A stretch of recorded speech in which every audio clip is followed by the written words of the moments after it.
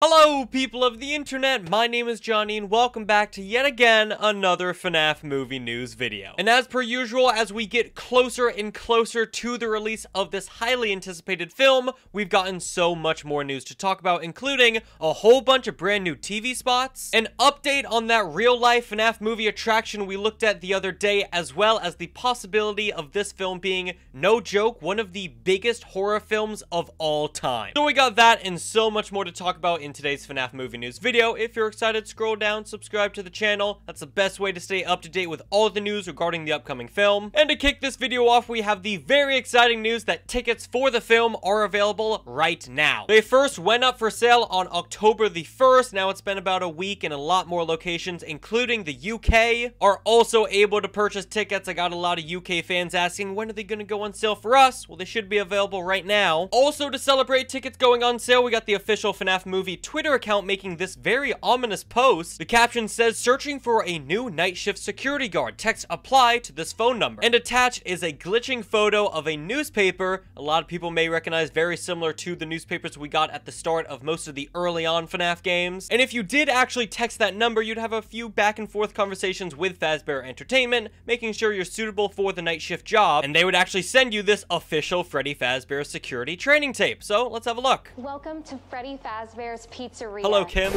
The genius who created Fazbear Entertainment opened Freddy Fazbear's Pizzeria Just to indulge person, in his two greatest passions, family-friendly fun and cutting-edge animatronic technology. The endoskeleton. Our characters interact with guests in truly lifelike fashion. Look at Let's that. introduce you to the stars of the show. Yes. Adorable, aren't they? Yeah, they're, so adorable in the in the terrifying static screaming creepy VHS tape, Kim. Thank you. So honestly, the main takeaway from this training tape was this shot of the official endoskeleton in the FNAF movie. And then we also have this character behind the endoskeleton, fixing them up, repairing the endo. A lot of people have pointed out this doesn't quite look like Matthew Lillard, so this could be the actor who portrays Henry Emily. All right, well now we got a whole bunch of brand new TV spots to take a look at. This is our first one. So we got the hallway, the security office with Mike, the animatronics, glowing eyes, cupcake, Ready.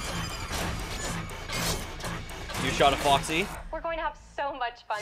Rated PG-13. rated PG-13. So a few brand new shots here, specifically some of the characters on the stage. This shot of the characters technically isn't new, but this time in this shot, their eyes are glowing. Last time we saw this in a trailer, their eyes were not glowing, so again, maybe they're changing some of the eyes, how they operate. We got the cupcake, in the kitchen, inside that fridge, you may remember when Carl goes to open the fridge, there's nothing in there. But in this shot, the cupcake's right there. He was taking a little nap and he wakes up. Creepy shot of Freddy with Foxy and Bonnie in the background. Then we also got a shot of Foxy whipping out his hook. Now, these next few come from Universal themselves, so we don't have that terrible Twitter quality. I got something for you. Starting off with William. There's Mike, And you will sleep, you understand? Abby.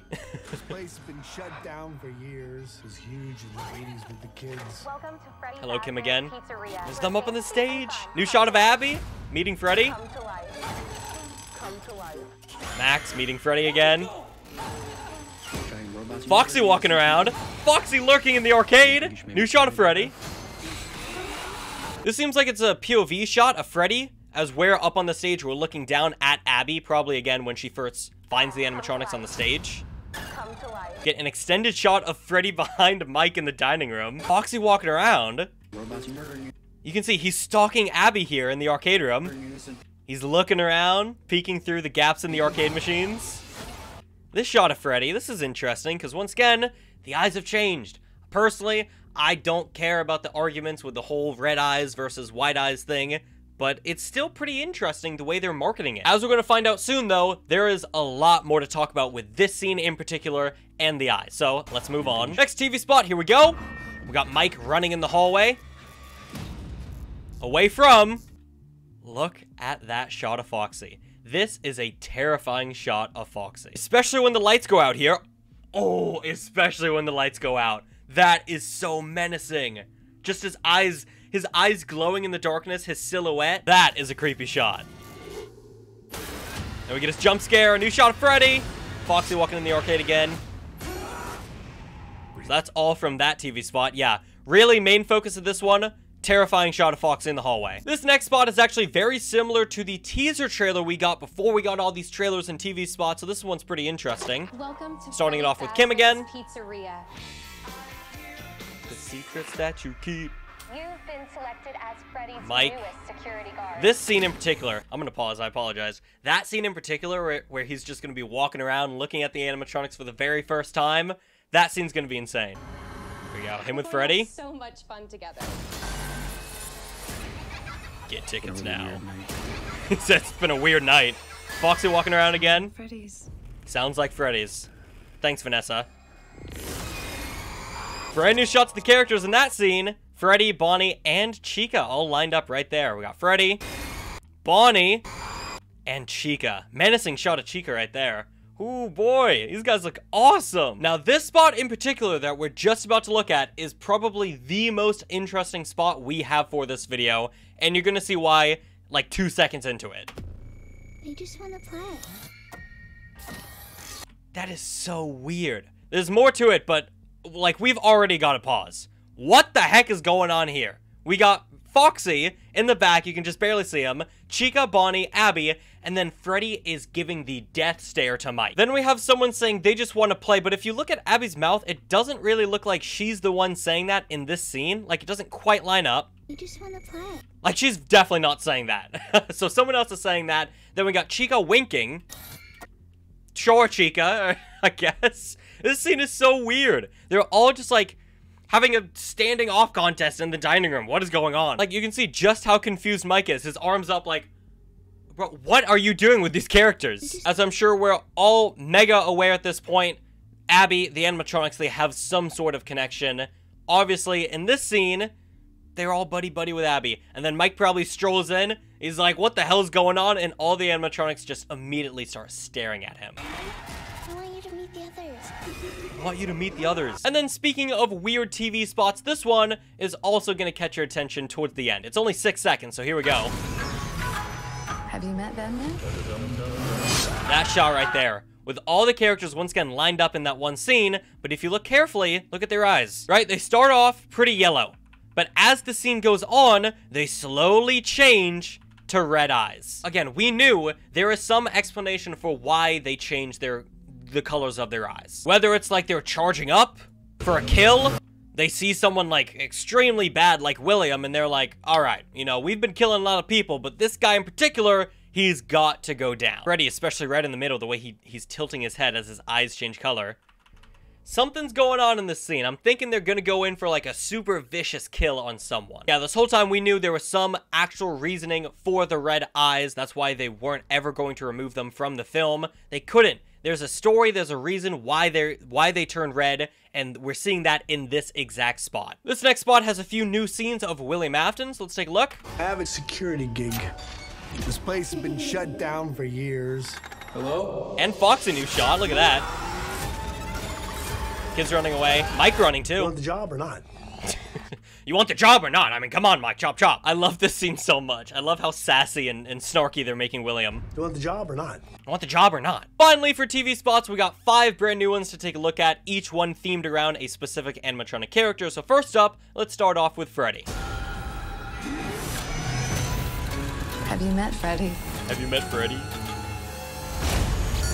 And then we get this. We get like a like a fighting game intro screen for all the characters, Freddy. But we did also get this new shot of the dining room. You can see a bit of the stage right here with all the clouds and the lights going on. This also looks like I mean, it's pretty clean. Like, could this be a flashback scene? Because, I mean, the chairs are all pretty nicely tucked into the table, so I feel like this shot probably might be a flashback.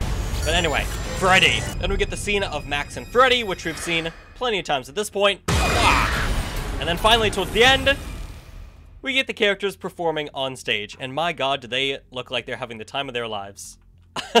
I really hope we get a long extended shot of them performing because that's going to be awesome. And now we've got Bonnie's trailer. Have, you met Bonnie?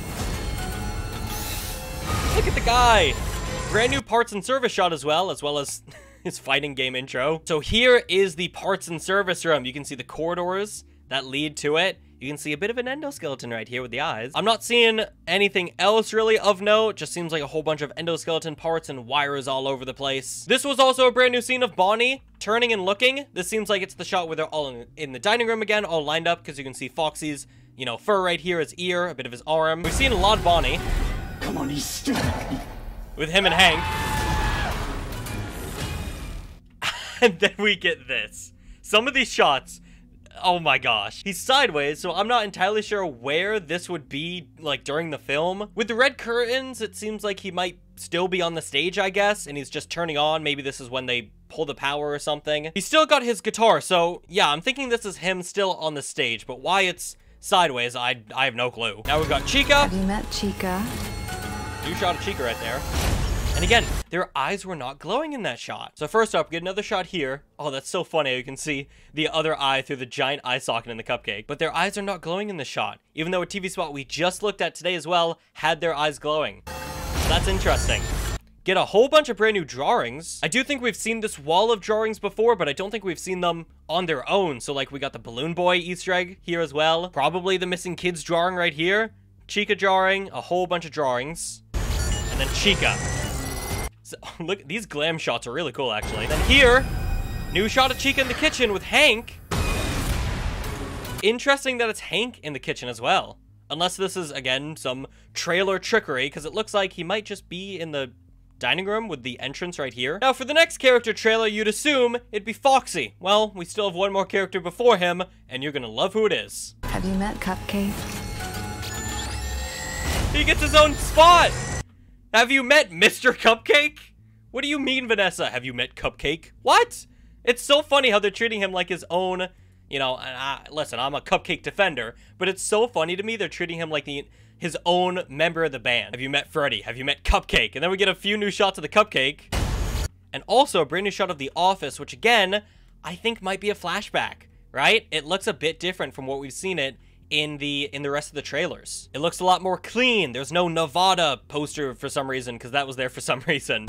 And then we get him in the hallway. Just just just sitting there. Just his eyes glowing in the hallway. I feel like this is probably a trap.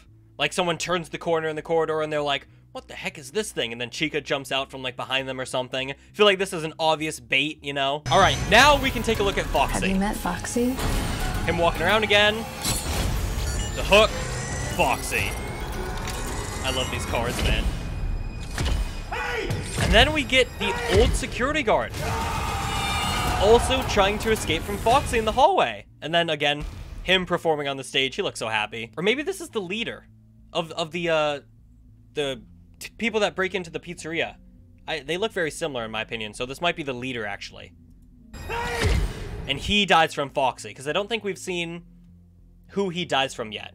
So this might just be deja vu when Mike gets the same fate, or this whole time again, it could be Foxy's kill on this leader guy. Anyways, that was all of the brand new TV and trailer spots. A whole bunch of them, and I'm sure there's still plenty more on the way. We do still have a few more topics for today's video, so let's rapid fire through some of those right now. First up, the pizzeria on Sunset Boulevard in Los Angeles that we took a look at last video. That now has the Freddy Fazbear's Pizza Place sign on it. The lights are up. It seems like the thing is basically done. And as amazing as it looks, and as much as we prayed to the Foxy Lords above that this was going to be a legit Freddy Fazbear's Pizzeria or some sort of walk-through haunted house or attraction, that's unfortunately not the case. It seems like this is the final result of this project and it's simply just going to be an advertisement. A place where fans can go get their picture taken in front of Freddy Fazbear's Pizza in preparation for the film. You can't go inside. You know, people driving past on Sunset Boulevard are like, wait, Freddy Fazbear's Pizza? That's from FNAF. Oh, FNAF has a movie coming out? Let me go watch that. So again, as amazing and as fantastic as this looks, I am a little disappointed it's only for advertising reasons, but hopefully,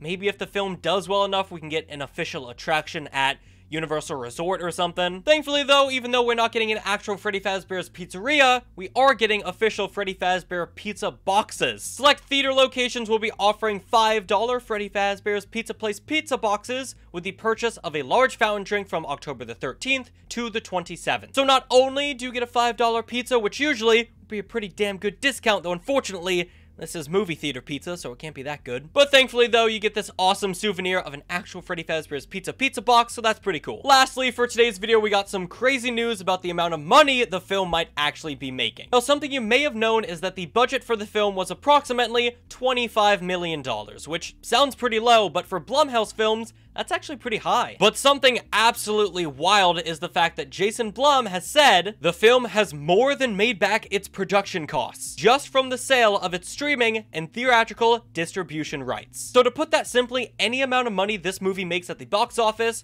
is just straight profit, which is absolutely insane. I know a lot of people have been kind of kicking Blumhouse for throwing this on Peacock the same day, which, uh, don't get me wrong, I'm still very against that idea, and hopefully they see how well this does and they're like, all right, FNAF movie 2, we're not doing that. Because how well is this film going to do? Well, let me put this into perspective. Current estimates right now are saying that the film will make $12 million only from Thursday night previews, which would be the second highest grossing previews for a horror film of all time, only being beaten out by It from 2017, which, by the way, that film made about $700 million worldwide from its box office run. The FNAF film is estimated to gross 33 million to 42 million during its opening weekend, which is massive. 60 to 90 total million domestically. And again, keep in mind, those projections are likely extremely low. These are week-old estimates, and this was before FNAF showed up on the goddamn Sunday night football game. Imagine you're watching the Chiefs game for Taylor and Travis,